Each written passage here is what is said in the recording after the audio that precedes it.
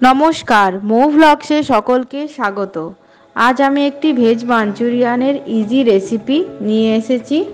তো ফার্স্টে আমরা মাঞ্চুরিয়ান বানাবার আগে পকোড়াটা যেটা বানাবো, সেগুলোর জন্য দেখে নেওয়া যাক কি কি আছে।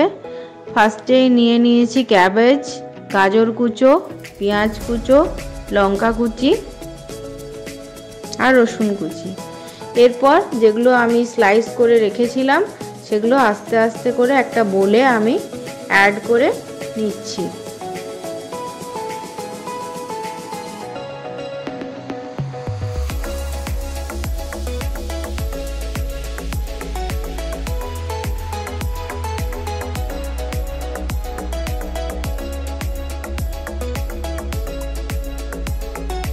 এরপর এতে স্বাদ মতো নুন অ্যাড করে নেব।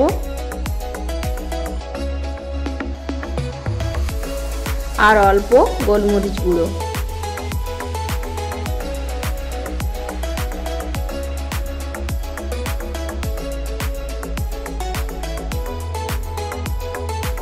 এরপর এতে পরিমাণ মতো কর্নফ্লাওয়ার অ্যাড করে নেব। আমি এখানে পকোড়াগুলো খুব একটা বেশি হার্ড বানাবো না। মানে বাড়িতে যেরকম পকোড়া বানাই, সেরকম কনসিস্টেন্সিতে বানাচ্ছি। যদি হার্ড বানাতে চাই, তাহলে কর্নফ্লাওয়ার বেশি পরিমাণে দিতে হবে। আর এরপর আমি ময়দা দিয়ে নিচ্ছি। কর্নফ্লাওয়ার আমি দু চামচের মতো দিচ্ছি। ময়দাটা বেশি দিয়ে দিচ্ছি।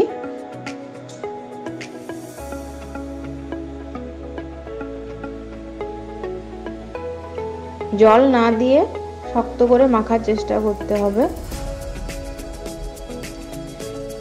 একদম হার্ড করতে চাইলে আরও বেশি কর্নফ্লাওয়ার দিতে পারেন বাট আমি একটা খুব বেশি হার্ড করব না। আমি সেই জন্য কমই অ্যাড করছি। হার্ড করতে চাইলে কর্নফ্লাওয়ারের পরিমাণ বেশি করে দিলেই হার্ড হয়ে যাবে। এরপর আমি একটা কড়া নিয়ে নিয়েছি। কড়াতে রিফাইন্ড অয়েল দিয়ে দেবো সাদা তেল।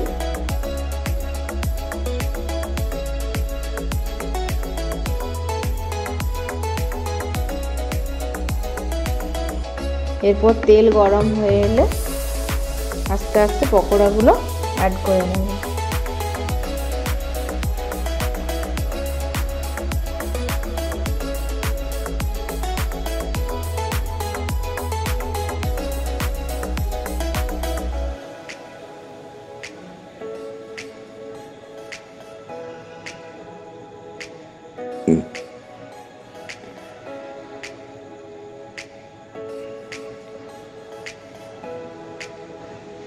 আর খেয়াল রাখতে হবে যে পকোড়াগুলো আমরা করছি, এগুলো লো ফ্লেমে করতে হবে। কারণ এগুলো যদি খুব বেশি হাই ফ্লেমে করে দিই, ভেতরটা কাঁচা রয়ে যাওয়ার খুব বেশি সম্ভাবনা আছে। ওই জন্য একদম লো ফ্লেমে করতে হবে, যাতে করে ভেতরটাও ভালোভাবে কুকড হয়ে যায়।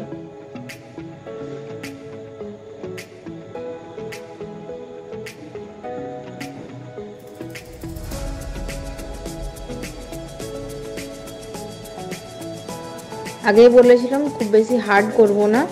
সেই জন্য আমার ফ্রাইগুলো এরকমই হয়েছে। বেশি হার্ড করতে চাইলে আপনারা কর্নফ্লাওয়ারের পরিমাণ বাড়িয়ে দেবেন। যেহেতু বাড়ির জন্য বানাচ্ছি সেই জন্য বেশি অ্যাড করলাম না, কারণ খুব একটা ময়দা জাতীয় জিনিস অ্যাভয়েড করাটাই বেটার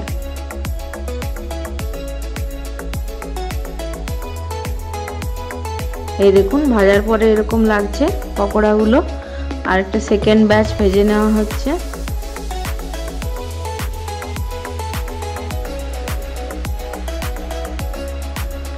এরপর আমরা যে সসেজটা যেটা বানাবো, তার জন্য নিয়ে নিয়েছি ক্যাপসিকাম কুচি, পেঁয়াজ কুচি, টমেটো কুচি, রসুন কুচি, আছে হচ্ছে কর্নফ্লাওয়ার ওয়ান টেবিল স্পুনের মতন। আর আছে vinegar tomato sauce chilli sauce আর হচ্ছে শেজওয়ান সস এরপর একটা বলে আমি অ্যাড করে নিচ্ছি ফার্স্টে কর্নফ্লোরটা এরপর অ্যাড করে নেব শেজওয়ান চাটনি বা সস যাই বলুন। এটা টু টেবিল স্পুন মতো নিচ্ছি। একটু বেশ স্পাইসি করব সেই জন্য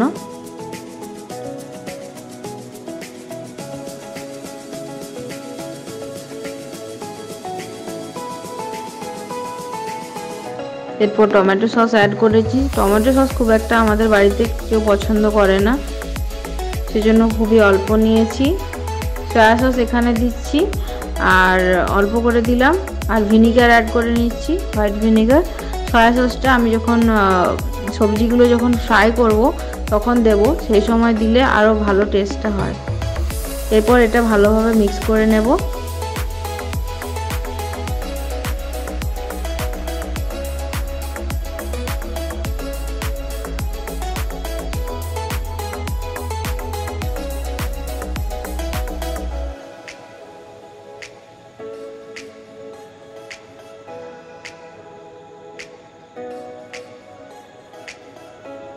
এরপর তেল আমি একদম কম নিয়ে নিয়েছি।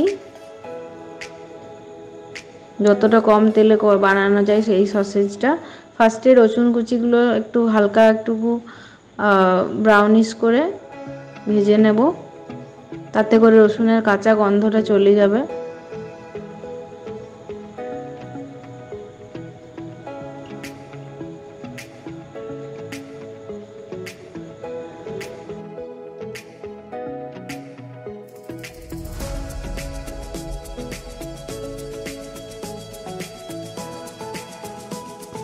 এরপর টমেটো কুচিটা দিয়ে নিচ্ছি। এরপর পেঁয়াজ কুচি অ্যাড করে নিচ্ছি। পেঁয়াজগুলো একটু বড় বড় ডাইস করে কাটলে ভালো লাগবে দেখতে। ক্যাপসিকামগুলো বড় বড় করে কুচি করে নিয়েছি। বেশি ভাজবো না, একটুকু সবজিগুলো, একটু ক্রাঞ্চটা এলেও ভালো লাগে। এরপর সয়া সস অ্যাড করে নিচ্ছি। এই স্টেজে চিনিটা দিতে পারলে ভালো হতো। আমি গ্রেভিটা হয়ে যাওয়ার পর চিনিটা দেব। কারণ এই সময় দিলে অনেকটা চিনিটা আর আপনারা চাইলে একটুকু সাদা তিল আছে, সাদা তিল হয়, সাদা তিল অ্যাড করতে পারেন। তো আমাদের যেহেতু বাড়িতে কেউ খায় না, সেজন্য আমি অ্যাড করিনি। এরপর ভালোভাবে এগুলো কড়াই জাস্ট দু মিনিটের জন্য টস করে নিচ্ছি।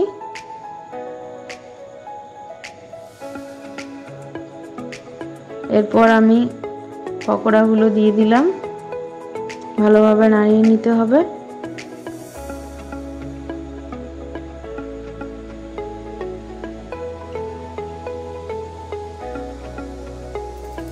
এরপর যে সস যেটা আমি সসের যে মিক্সারটা রেডি করেছিলাম, ওতে একটু জল অ্যাড করে নিচ্ছি। জল অ্যাড করে ভালোভাবে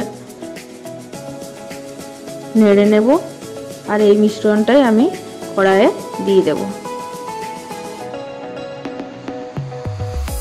এরপর জাস্ট দু মিনিটের মধ্যেই যখন ফুটে আসবে, যখন দেখব গ্রেভিটা একটুকু গাঢ় গাঢ় টেক্সচার চলে এসছে, তখন আমরা নামিয়ে নেব।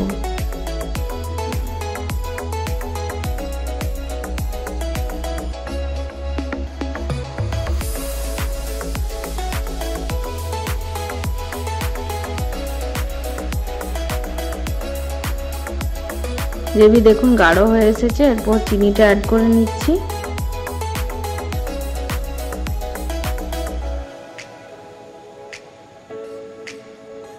এরপর আরও একটুকু অল্প পরিমাণে গোলমরিচ গুঁড়ো অ্যাড করে নিচ্ছি।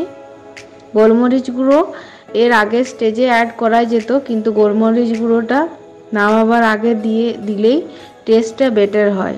সেজন্য একদম কুকিংয়ের লাস্ট স্টেজে আমি অলওয়েজ গোলমরিচ গুঁড়োটা অ্যাড করি। তাতে করে গোলমরিচের যে এসেন্সটা হয়, সেটা ভালো পাওয়া যায়। এরপর আমি বলে ঢেলে নিচ্ছি।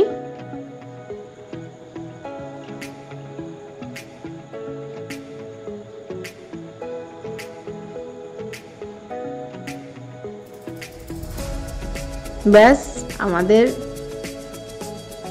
veg manchurian ready and unserved thanks for watching R comment করে জানাবেন কীরকম লাগল বাড়ির তৈরি এই মাঞ্চুরিয়ানের রেসিপিটা